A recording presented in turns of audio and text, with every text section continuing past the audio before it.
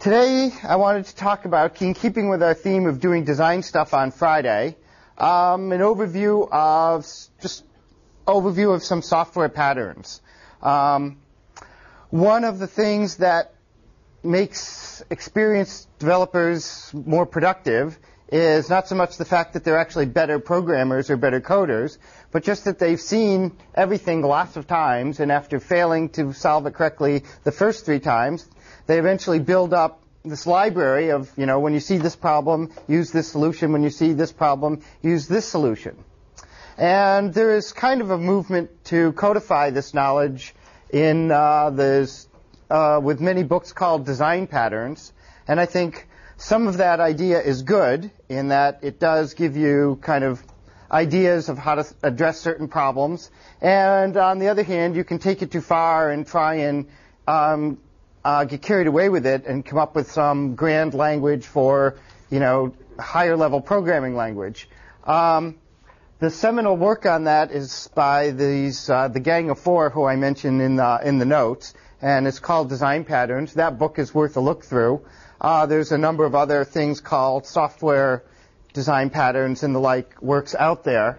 Um, some of the things I'll talk about today are in that book, um, but I'm really going to be uh, cover a, a, wider range of scale of, in terms of kind of design patterns and architectural patterns than is covered in that book. So this is just an overview. Um, and I wanted to start with data structures. Data structures are the programmer's friend um, because they let you think at a higher level than you would thinking about elementary in terms of the elementary basic data types, arrays or integers or whatever.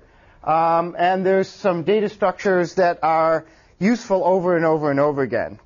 Now, you'll talk about data structures in the algorithms course a lot, um, but algorithms courses, when they talk about data structures, are in, interested in how to implement this data structure with these, this interface efficiently. Okay.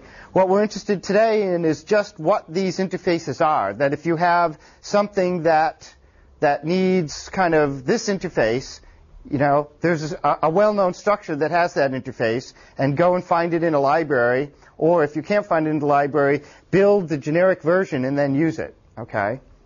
Um, so one example I'll start with is there's a whole class of things called uh, dictionaries, or that have dictionary semantics. All right. These are things. These are container data structures that you can store object in objects based on a keyword, and then retrieve them back based on a keyword. Okay. And so the basic uh, interface is like insert key, oh, I won't give the types, but think of the, all, all my types here as objects. And uh, there's an R in there somewhere, insert. And then lookup key, which returns you the object that you stored, and then maybe remove key. There's lots of different things under the hood that implement this. Um, hash tables are a common implementation of this. Um, there's something called A-lists or association lists that you see in Lisp and Scheme that also implement dictionary semantics. Um, and so if you decide you, you know, this is a good data structure, these are the routines that you want, um, go look for something that, that, uh, that satisfies it, like a hash table, or whatever. If you don't have any of these supplied in the library, just go and build something that does these things and and you know make it a, a generic dictionary thing and then uh, incorporate it into your program and you'll find you might be able to reuse it in a number of places. It lets you once you know how to build one of these things, they're easy to build and then you can use them. So it, it saves you from having to think custom every time. One thing about if you find yourself having to build data structures yourself that you don't have a predefined library, um, don't in- over-engineer them in the first pass. Whenever I have to build these things, I don't go and build a hash table. I don't go and start out and build a complicated uh, um, data structure. there's also, uh, let's see, heaps or another data structure that do this for you. Um, what I do is I just build a, a, simple linear search list and I go search it. It's inefficient as all get out, but it's fast to program, it works, and it lets you get on with the rest of the task. So that's a moral. Don't over-engineer your uh, components on the first pass. Um, arrays are basically things that satisfy dictionary semantics where the integer, the keys are integers. Um, you've seen them useful. Sometimes it's useful to build the Java vector version that's self-sizing and build that as a data structure if you don't already have one. Um, let's see. Hopefully you've all seen the stack data structure before in uh, either the scheme course or uh, um, other places. It has three basic operations. Okay. Push, you push something on the stack. Pop. Oops.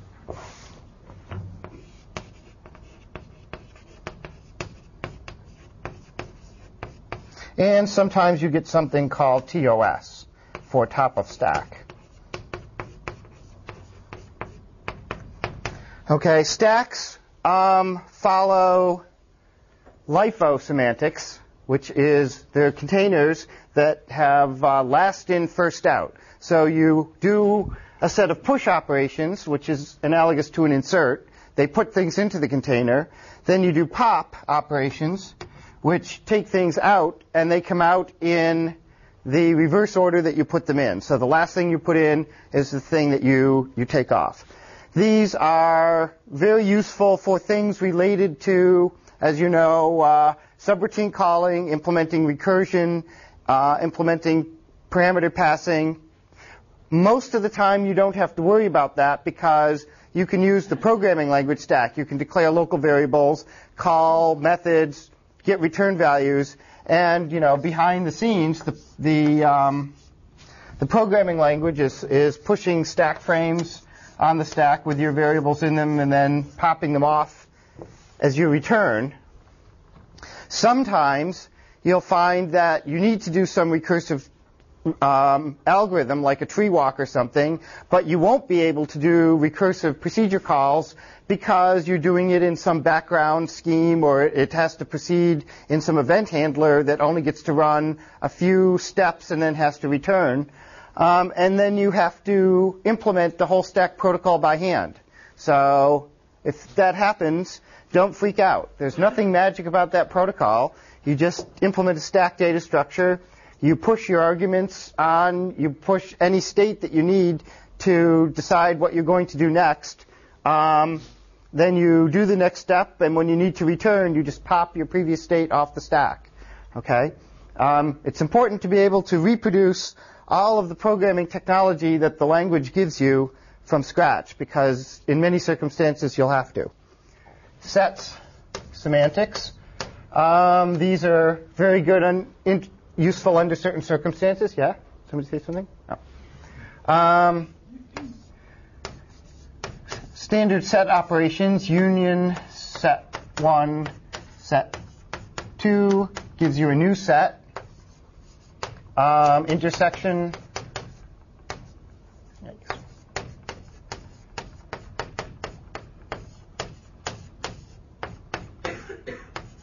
member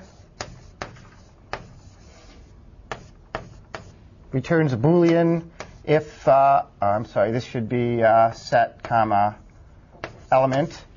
All right I'm writing these in kind of a procedural form rather than a method form but this says if this element is in this set then return true otherwise not. Very useful to know sometimes. Sometimes you'll get combinations of these like you can sometimes get something that looks like an array or a dictionary that also has a member function on it. So you can, you know, give it some value and say, is this value in there at all? Um, union, you, it's nice to have two flavors, one of which takes the two sets and just does a, a, a straight union on them. Another one does a unique union on them so that it removes any duplicate members where you have to define duplicate in some way. But there's a lot of algorithms or situations where you know you find yourself manipulating arrays and by stuff by hand, and then you say, "Aha! What I'm really doing is set operations, so I should go define myself a set object, and then my life will be easier." And it will be. Um, let's see. Final one that's useful more for representation are trees. Trees you see all over the place. Uh, presumably, you know the t- tree data structure. It's a bunch of circles connected by lines. A lot of our data structures look like circles connected by lines. Um, this has the property that that um, any node has can have um, zero or more children, and the children are the things that the arrows out point to. Um, but each node can only have one parent.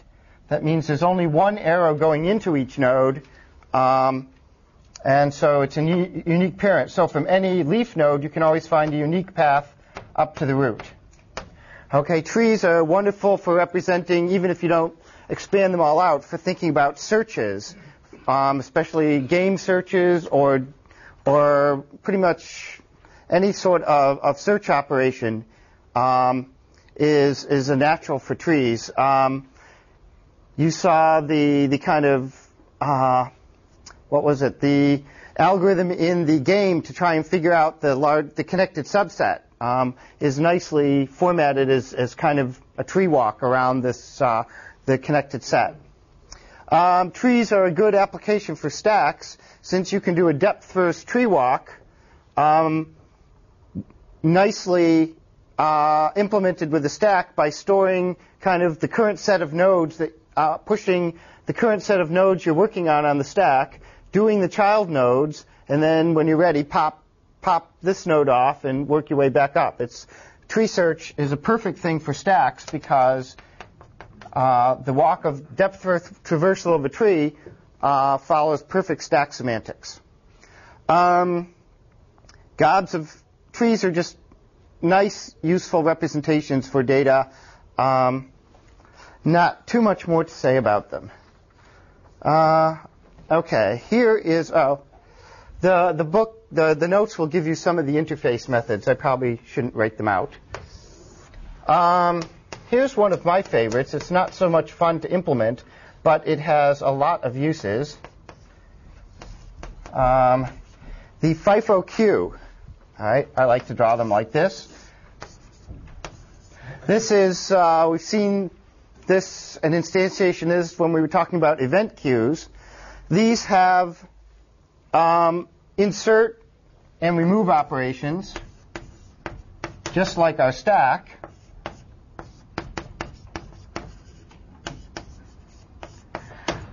But the semantics are slightly different. The order in which the remove, the objects come out, are exactly the order in which they went in. The data structure remembers the order in which you stuck in the things, and then, and then when you do removes on this thing, it pulls them out in exactly the same order.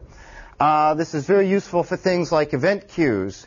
Um, it's useful for queuing, say, packets in network uh, architectures and it's useful for um, packing um, just any kind of data when you have stream processing. If you have a stream in and a stream out, um, and some processes that deal with streams, very useful to be able to have a FIFO buffer to kind of mediate between this guy and this guy, um, two processes. Um, there is an implementation of this that a common implementation, I don't know whether you'll do this in algorithms, called circular buffers, where you use an array to implement the FIFO queue. And the idea is you have a fixed size array, and you have a in pointer, which is where you start writing. It's the beginning of the empty segment, empty part. And you have an out pointer, which is where you read stuff out. And all this up here is filled. And all this back here is filled. So to remove something, you take the next thing off, you increment the out pointer, and you return this value. To put something in, you put it in this blank space, and you increment the in pointer. And when the out pointer, when either pointer gets to the end of the array, you have it wrap around to the beginning of the array, and it's all good. Um, the one thing that you can see running into trouble is if you do lots of ins without doing outs, eventually you're going to run these two pointers into each other, and you have to detect that case and tell the guy who's putting stuff in, no, we can't take any more. Okay, so eventually this thing will only hold a finite amount of information, but uh, so eventually, if no one's taking stuff out, you have to tell the guy um, that's putting them in to stop, and that process has to block. But if you have two processes that run on average at the same rate, but in short amount of time at different rates, this is very good for kind of mediating the amount of data between them. Um, circular buffers are are your friend. If you can find a library routine that implements FIFOs, by all means use it. Uh, FIFO queue. Another implementation of FIFO that's common is uh, doubly linked lists. You have the, uh, you know, you have a linked list. Um, you have a head and a tail, and then a series of links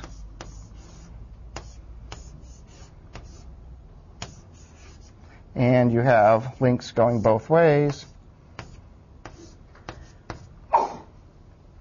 So that makes it very easy to take stuff off this end and add stuff off this end. So these things kind of shift shift around as you do. That's another implementation. But when you're using it, you know, you first want to think in terms of a FIFO queue and then worry about, or hopefully have somebody else worry about the underlying implementation. Uh, let's see. Another interesting queue structure is our friend from problem set 1, priority queue. It has the same queue semantics, insert and remove, but in this case, the things go in in any order and they come out in sorted order. Okay? So there are a number of data structures that implement that. Um, one is called uh, uh, underlyingly they implement that. One is called a heap. Uh, also, you can use red black trees, binary trees. There's a lot of different things you can do to implement that. But the thing you want to keep in mind as a user is just the semantics. These are very useful, for example, for scheduling. If you have a bunch of tasks and you, they appear randomly, but when you schedule them, you always want to schedule the highest priority one. You want to go to your queue and always get the highest priority thing off of it. Um, Another way to implement it is just, you know, when you do the remove, scan down this list and, you know, do a max operation and find the, uh, the best one you can sort on removal.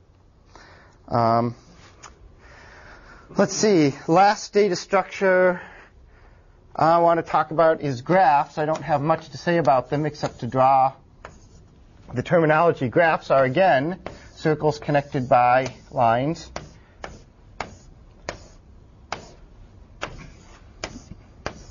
The lines are called edges and the circles are called nodes.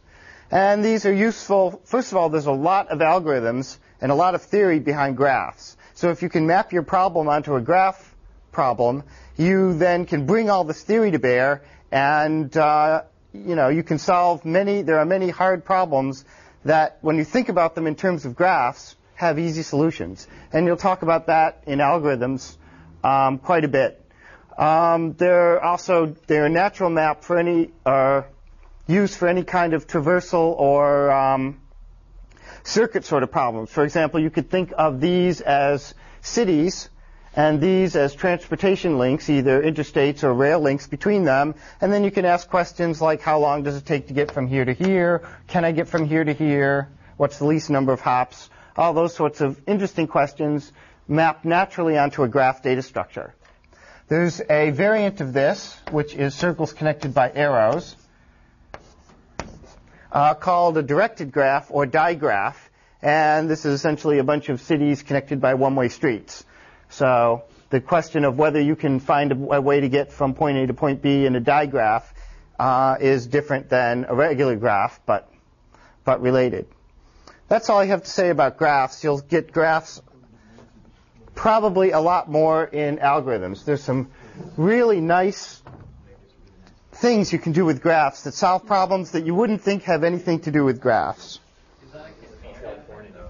Graphs aren't some graphs aren't really a container. No, they're they're a representation for certain types of problems. So, as I say, you'll see a lot more uh, of that. I want to talk a little bit about creation patterns. Um, this is when you want to make objects. Right now, we've mainly been using new to create things and calling the constructor. Uh, if you have new in your language, that's a useful thing. Otherwise, you, uh, if you have a language like C, you don't have new, so you have to to build it yourself. Um, one set, often it's good to make things called factories. Okay, factory is a design pattern. A factory is basically a class whose sole job is to make objects of or instances of a type of object. It could be uh, could be the objects of the same name as, as the factory, or could be you know one one factory can make a variety of types of objects. Um, these are it's often useful to do things in a factory style uh, and have, say, a create X method than it is to just use the constructor. There's sometimes you have to glue together a bunch of data structures to make the thing you want or link the thing you're making into a larger structure, and all that's inconvenient to do in a constructor. So factories are nice. Also, if you are trying to share data structures, okay? So you wouldn't necessarily, new makes a new one every time, but say, you know, you wanted a constructor that had the property that if you already had one of these things around, you wanted to, that looked the same, you wanted to share it, okay? Factories can do all sorts of data optimization, uh, they can manage reference counts and allocation, all sorts of good stuff. Um, we saw examples of factory methods in the Java box class. Um, instead of calling new to make a new box, this is um, one of the uh, uh, widget containers analogous to JPanel. But instead of saying new box, we would always call these um, static methods like uh, create horizontal box or create uh, what did we call them struts Okay, this had a whole set of these factory methods. So instead of using new and then setting up the layout manager on each one of these, we had uh, utility factory methods which built them all for you. Much easier, much easier design. Um, a related pattern is called builder. If you are making a uh, if the structures you want to build are fairly complicated, and they have lots of has-a relationships, lots of containment relationships. It's nice sometimes to have a builder class whose sole job is to have methods that compose various types of objects into uh, larger structures. Okay, so they let you get kind of elementary structures from a factory and then build them uh, up for example, you know, to give a weird example, if you're thinking of, uh, you know, you really want something that's a chair, and you allocate, you know, legs and, you know, a back and a seat and all this, you would have builder methods that would compose all these things and eventually be able to come up with a chair, or ideally you'd have a whole language of builder methods that, given some basic components, you could create, you know, arbitrary furniture pieces. Um, so this encourages you to first build a arbitrary language for gluing things together, um, and then use it to build the specific things you want.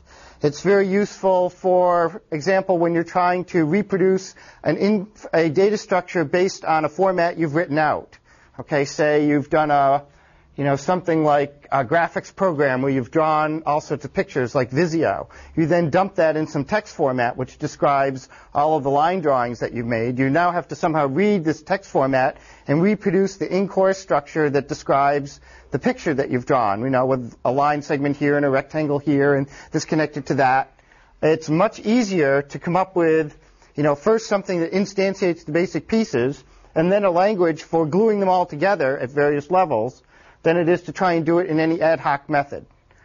Okay, so just a concept to think about. The design pattern book has a lot more about builder patterns. Are things like the IO, the way the IO libraries work, would that be considered that the way they build on each other, or is that? That would be that would be I think an example of that. Yeah, they're mostly serial building, but but uh, um,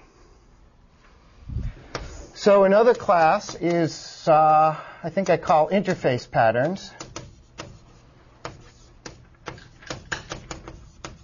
These are often useful. Uh, let's start with one we saw yesterday, which was proxy. A proxy is an object that stands in for another object. Okay. Um, why don't you use the original object? Well, sometimes, as we saw, you can't because it's on another machine.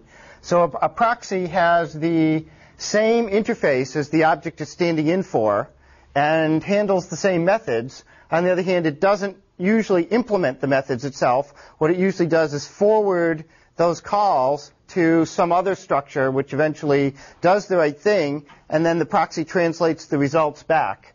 Proxies are good for translating across, as we saw, processes or machines, also good for um, uh, translating between um, different types of, well, a little bit about for translating between languages, though there's probably another class that's similar called adapter, which you might think of. An adapter is similar to a proxy, but it performs less of a stand-in function and more of a translation function.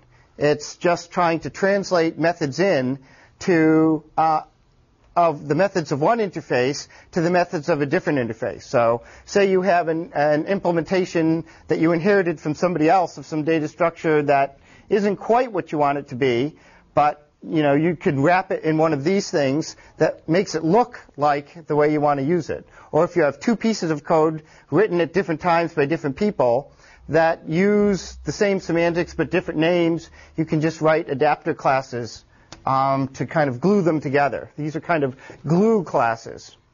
Um, and as I said, you can use things like this to you call often call functions written in one language uh, from a different language. For example, you can call native functions written in C or binary functions by putting a Java wrapper around them. Um, and this is you can spend a lot of time doing this, putting wrappers of one language around things implemented in another language. Um, you can do C adapters on C++ classes and method calls, or, or vice versa. So, you know, when you think about gluing things together, think about, you know, what I really need here is a proxy. And you wouldn't do anything different than you would do just doing it by hand, but you know, you would tend to, thinking of that way, you tend to do it the same way all the time, which is just much better for debugging and makes things go together faster. All right. So they are of significant difficulty, and so I can't say much about them except that they exist.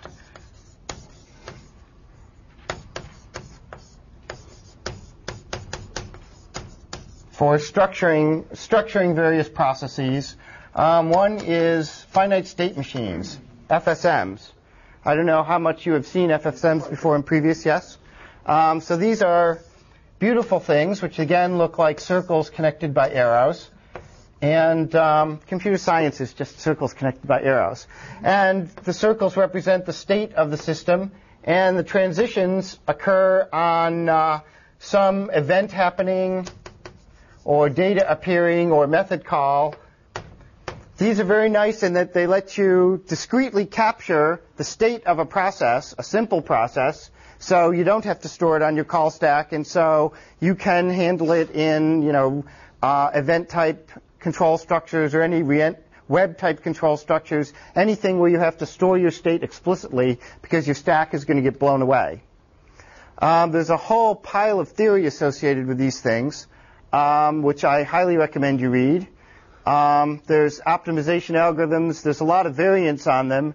There's things called finite state transducers that are a variant on finite state machines, which um, which also will will kick out a string on on, transla- on uh, transition, and so you can build translators out of those.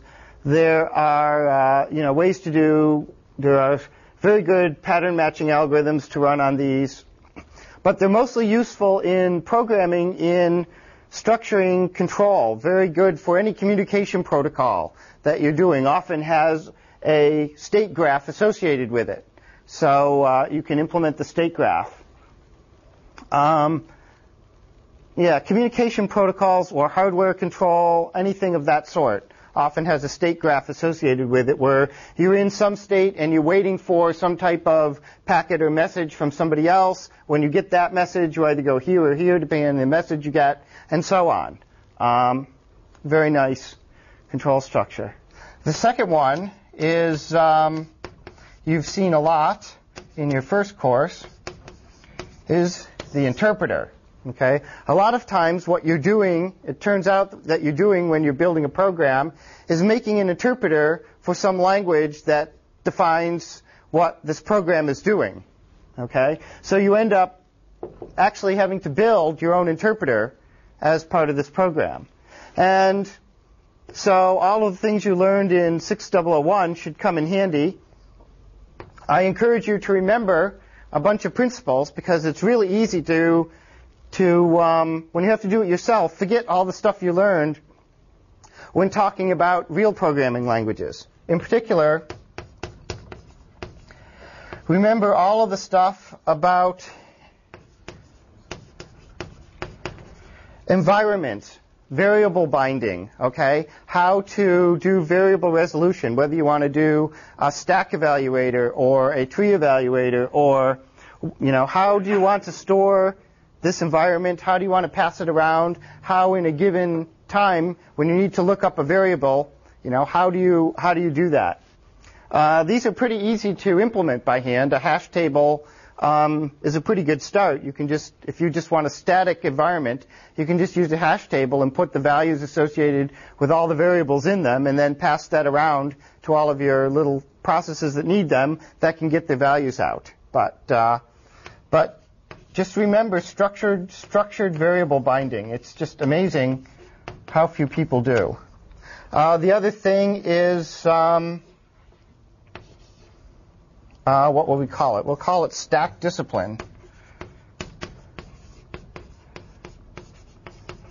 Just the notion of doing procedure calls, how to do a procedure call. Push your arguments on the stack, push your return pointer on the stack, uh, jump to the new code, um, put the return value on the stack, then pop your uh, then then pop your old control values off the stack.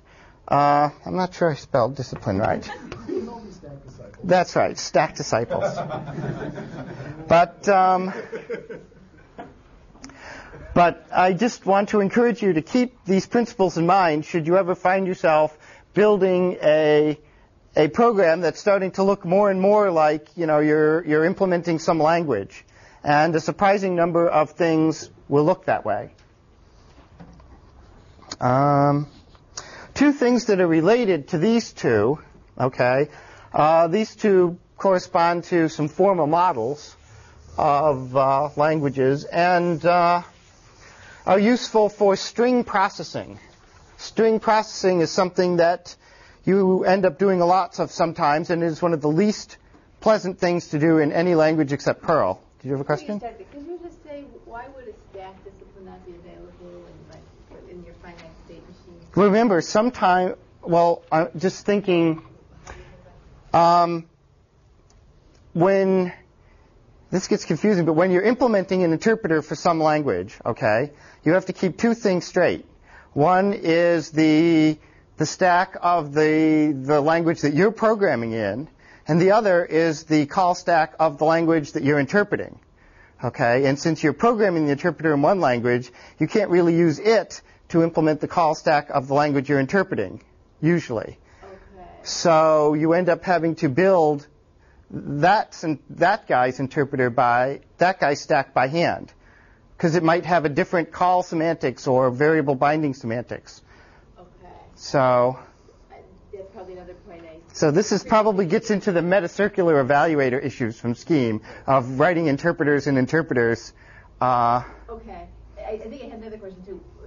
When you were talking about the finite state, yes. Sometimes the stack's not available, so you would. Oh, there, yes. Um, Uh, in a lot of network protocol situations or hardware interface situations, you are implementing the protocol in such a way that you're not allowed to use, you know, allocate a separate thread to just stick around all the time, okay?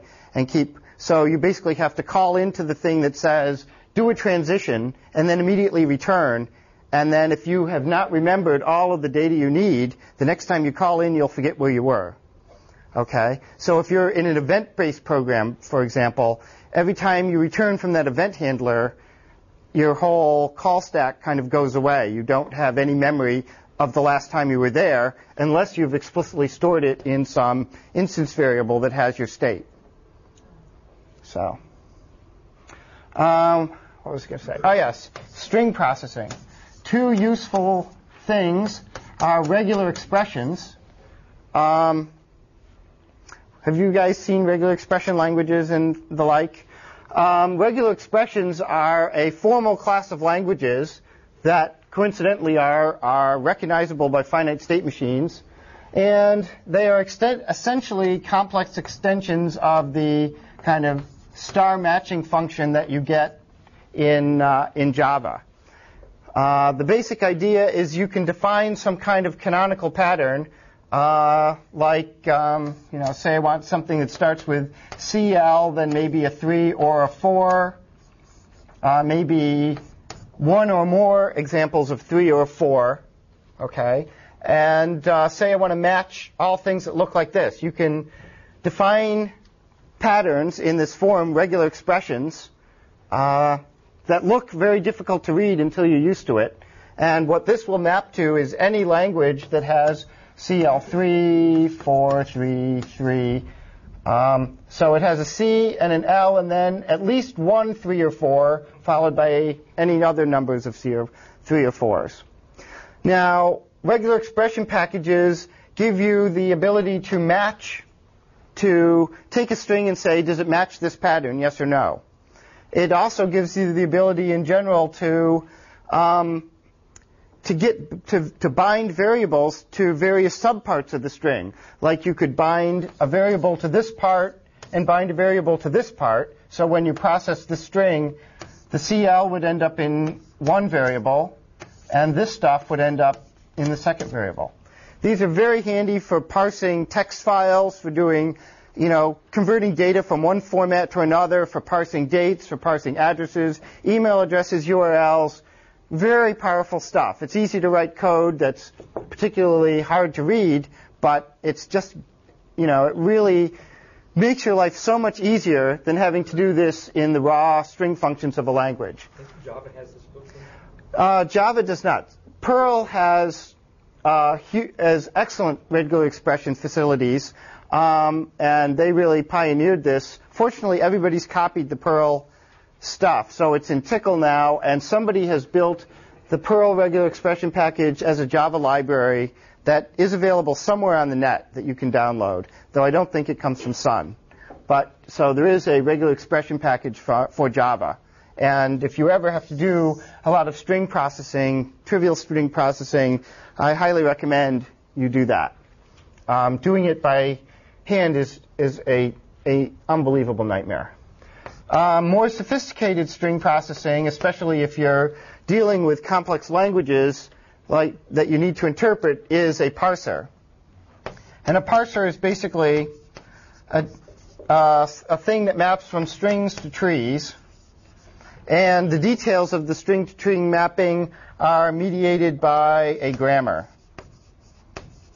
which is a bunch of rules of the form, you know, x goes to ABC. Not important now, but.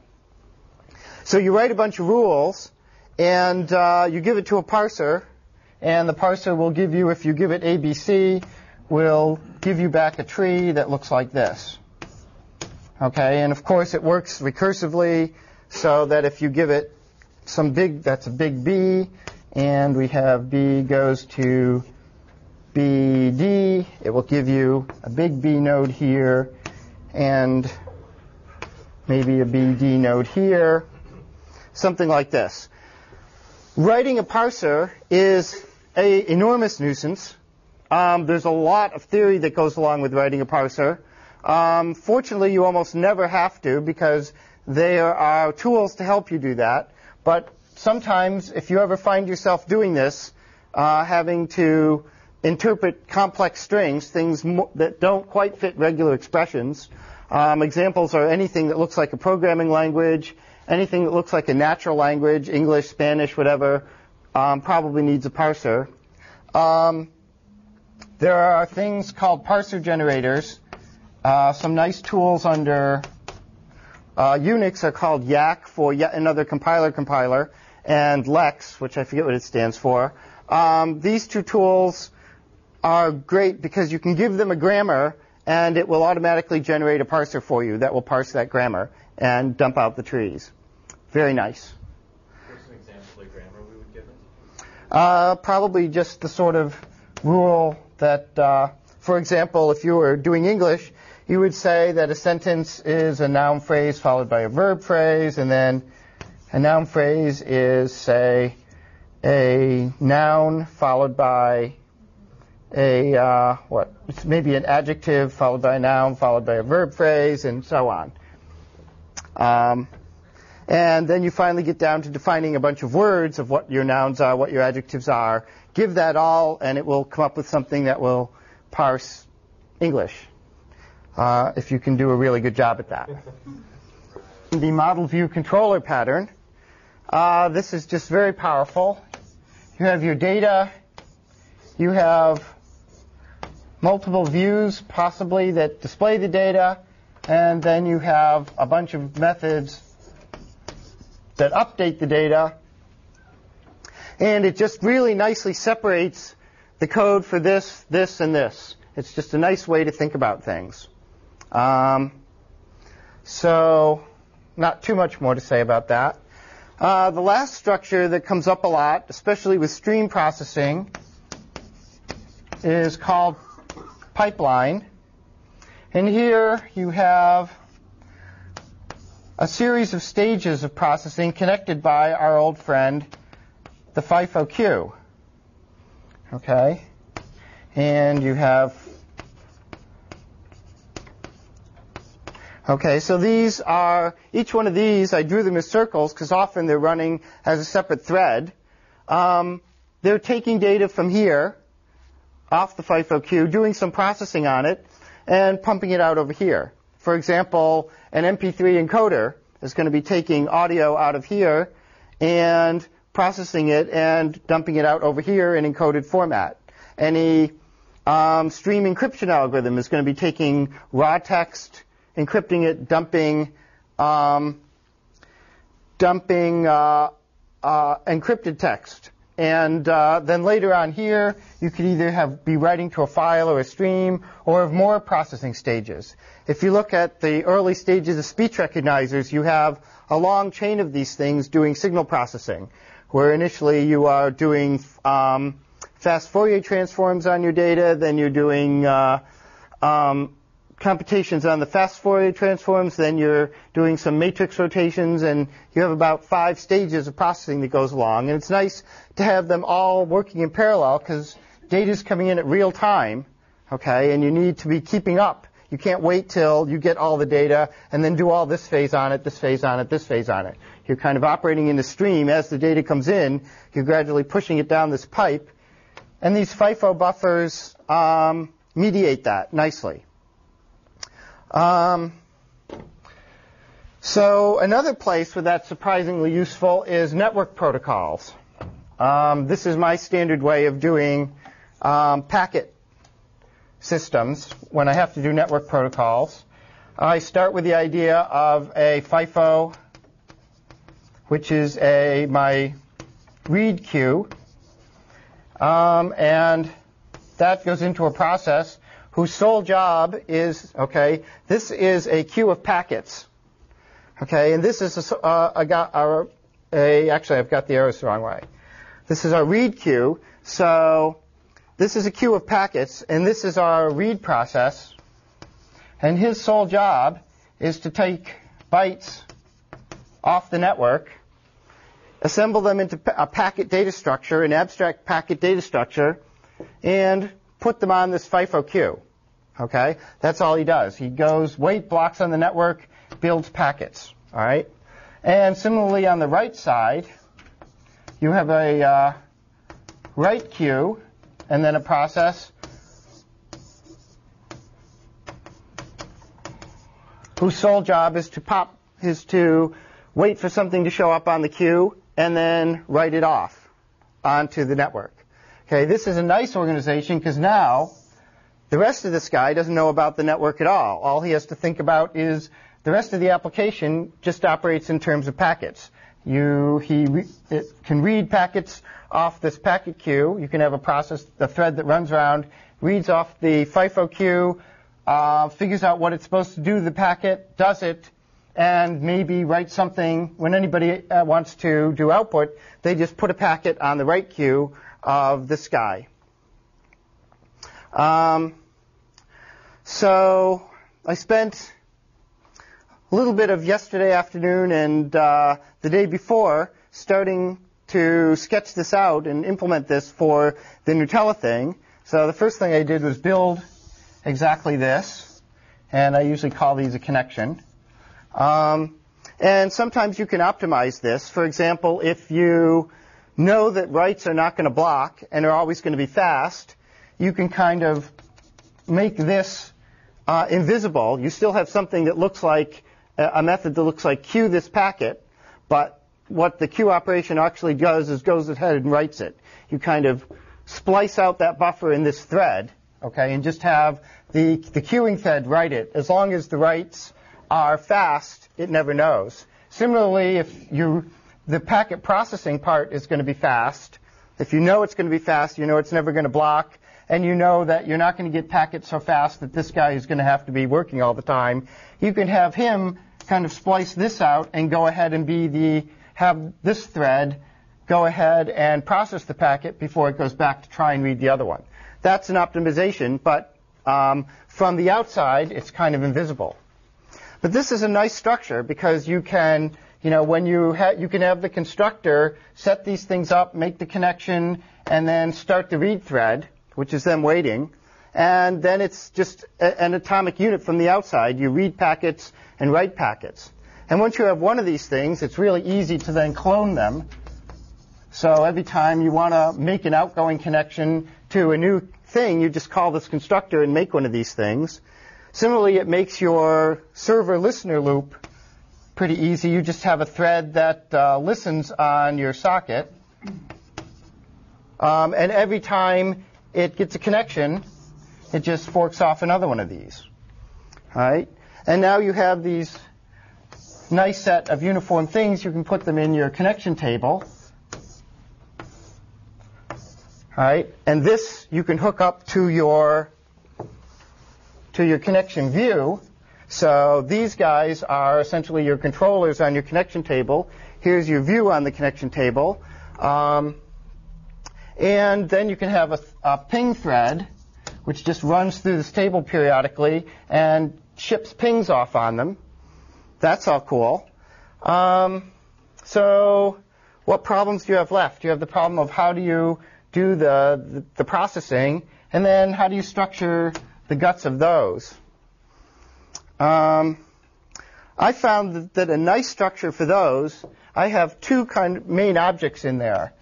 I made a buffer object, um, and then I made a packet object, which represents packets, which uh, is really an abstract class and has one real subclass for each of the four packet types. I didn't bother with that uh, loser fifth one push. Okay, so so what buffer does is it's the thing that actually reads the network. It's uh, essentially this abstract data structure. You can say, read n bytes off the network and give me this abstract buffer object, or here's an abstract buffer object, write n bytes to the network. All right, and then on so that's the connection outward. The connection inward is you have a bunch of access routines that turn the buffer into data types. So I wrote something that, uh, what is it called? Read unsigned int, and then a size, which is either 1, 2, or 4. And what this does is read 1, 2, or 4 bytes out of the buffer and gives me back an int with that value in it. And sometimes you need another one, you need a read bytes, and uh, that's probably close to it. So then, once you have this abstraction, um, building, I had another object up here which was header. Building the header is pretty trivial. You say, you, you call this buffer and say, give it a socket, say, read me 17 bytes, I think it's 17 bytes.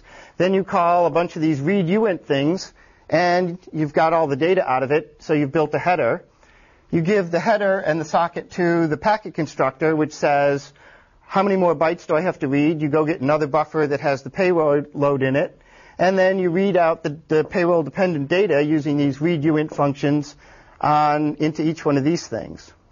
Now, from the other side, you can have constructors on these guys that say, all right, I want a Pong message that has this data in it or a query with this data in it, and it puts makes it into an abstract uh, um, packet object, and then you have methods that essentially do the reverse of this that will take integers and write them as 2 byte, 4 byte, whatever, into one of these buff structures. Then you just tell the buff structure to write over the network. And if you organize it that way, it, it runs pretty smooth um, and is actually remarkably fast to do. Um, the part that I haven't quite gotten together yet, or almost, you can then use polymorphism on these guys to build your packet processing. You can put on these things a process routine or a reply routine. You've basically got to take the packets, figure out is this a request that I'm supposed to do something with? If it is, and if it's a request, uh, I need to send a reply and also forward it. Or is it a reply from something I sent out?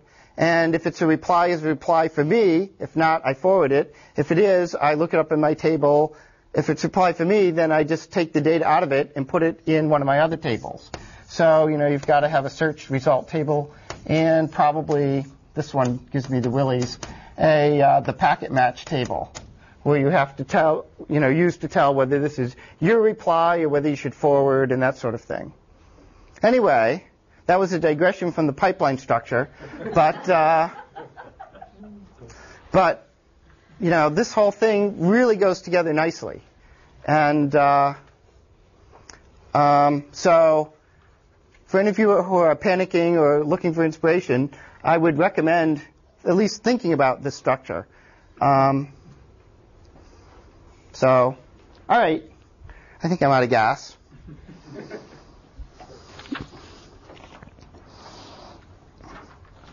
There's a couple things, a few sentences, a few sentences in the notes about client server and three tiered architecture, but we pretty much talked about that, so I won't belabor it. And I'll let you get back to the projects. Good luck.